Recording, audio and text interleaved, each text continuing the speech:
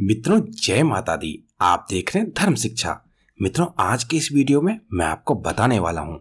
मार्च 2022 में पंचक कब से कब तक रहने वाला है? तो जानकारी अगर आपको अच्छी लगे तो वीडियो को लाइक ज़रूर करें। साथ ही प्रतिक्रिया, यानी कि कमेंट बॉक्स में जय माता दी ज़रूर लिखें। मित्रों पंचक कब से कब तक है? यह मैं बताऊँ आपको। उससे पहले थोड़ा पंचक के बारे में बताना चाहूँगा कि पंचक होता क्या है और इसमें क्यों किसी प्रकार का कार्य, मांगलिक कार्य नहीं करना चाहिए।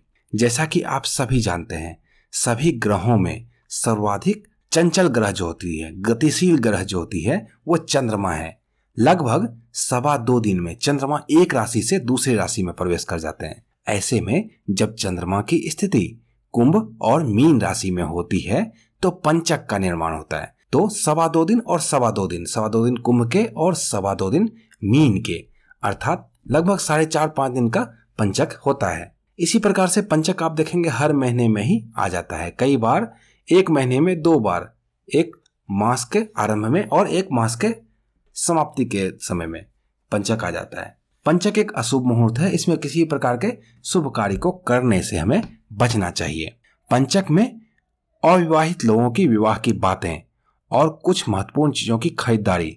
सभी प्रकार के मांगलिक कार्य, नए घर का निर्माण करना, छत ढालना आदि वर्जित है। वाहन भी आपको नहीं लेना चाहिए इन दिनों में।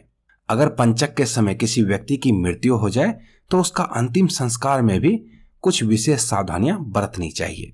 आइए जानते हैं मार्च 2022 में पंचक कब से कब तक रहने वाला है। तो मार्च 2022 में पंचक का निर्माण दो बार होने वाला है।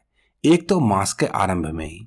मंगलवार एक मार्च को, दिन के तीन बजकर छियालीस मिनट से पंचक आरंभ होगा, जो कि शनिवार पाँच मार्च को रात्रि के तीन बजकर अट्ठाईस मिनट पर समाप्त होगा। तो एक मार्च से लेकर पाँच मार्च तक पंचक रहने वाला है। दूसरा पंचक भी मास के अंत में लगने वाला है, जो कि सोमवार 28 मार्च को रात्रि के ग्यारह बजकर छियालीस मिनट से आरंभ होगा और इसकी समाप्ति अगले महीने, यानी कि 2 अप्रैल को, दिन के ग्यारह बजकर एक मिनट पे होने वाला है। तो इस प्रकार से मार्च में दो बार पंचक का निर्माण होगा। तो मित्रों, मुझे उम्मीद है इस वीडियो से आपको पंचक मार्च 2022 के बारे में संपूर्ण जानकारी मिल पाई होगी। इसी तरह की अन्य ज्ञानवर्धक वीडियो के लिए आपको जुड़े रहना होगा धर्म शिक्षा के साथ और देखते रहना होगा धर्म शिक्षा। जय माता दी।